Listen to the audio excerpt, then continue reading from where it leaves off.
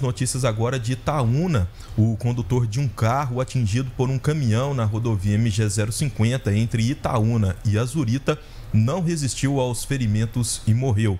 De acordo com os bombeiros, o acidente ocorreu depois que uma carreta bateu na traseira do caminhão que invadiu a pista no sentido contrário e colidiu contra o carro.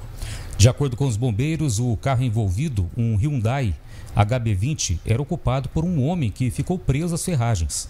Ao ser retirado, o homem entrou em parada cardiorrespiratória e não reagiu às manobras, tendo o óbito constatado pelo médico da unidade no local.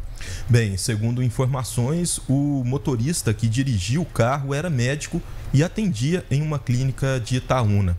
O passageiro do caminhão foi conduzido ao hospital de Itaúna, apresentando corte na testa e um edema, um inchaço aí na lateral do pescoço. Ainda de acordo com os bombeiros, os condutores da carreta e do caminhão não necessitaram de atendimento no local.